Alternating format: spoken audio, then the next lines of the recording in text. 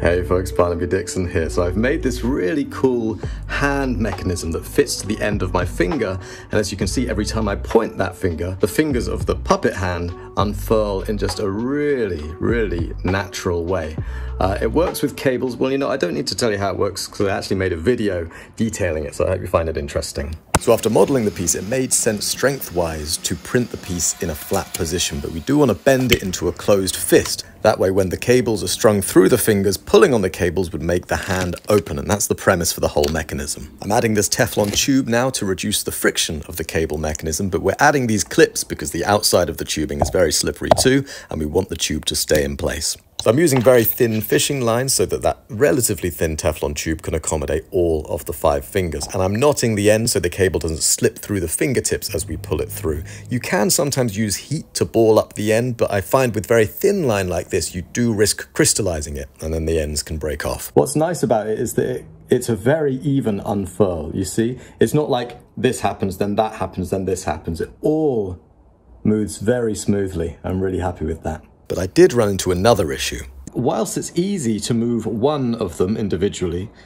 the width of the flexible part of the fingers is just, I think, a little bit too thick and it all accumulates. So when you start to pull more than two, it's actually quite, kind of a yank. And that might be somewhat difficult if I have it on the little finger, for example. I don't know if it has the strength. So these small flexible segments within each finger, I think we're gonna have to make them a little bit thinner. So I reprinted the model with slightly thinner segments between each of the finger parts and repeated the assembly process. This will seem like a segue, but do you guys remember in GTA 3 or The Sims, one of these games, on a PC, you could open up the game files and see the skins of the character, basically the clothing and the tonal differences that implied texture. And these were always really derpy, funny looking images because they weren't actually designed to be viewed in two dimensions. They were designed to wrap around a 3D model to create something biologically accurate. I'm doing something similar here because the hand, you'll notice the thumb sticks out quite far because this is a flat object that essentially is going to wrap around the tip of my three-dimensional finger and look a little bit more right just anatomically.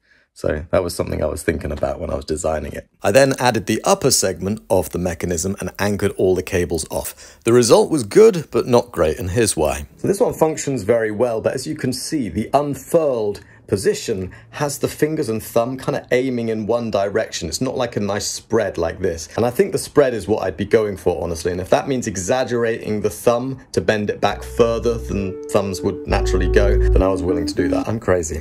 So I slightly remodeled, reprinted, and reassembled, and thankfully the third time did prove to be the charm.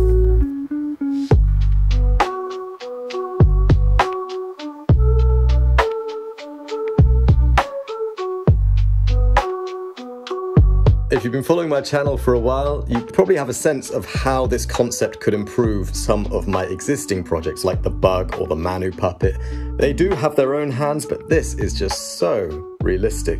So if you'd like to see experimentations like that, let me know in the comments. If you'd like to support projects like this, here is a link to my Patreon. Many thanks in advance. Uh, I do very much appreciate it. Okay, I'll see you in the next video. Bye for now.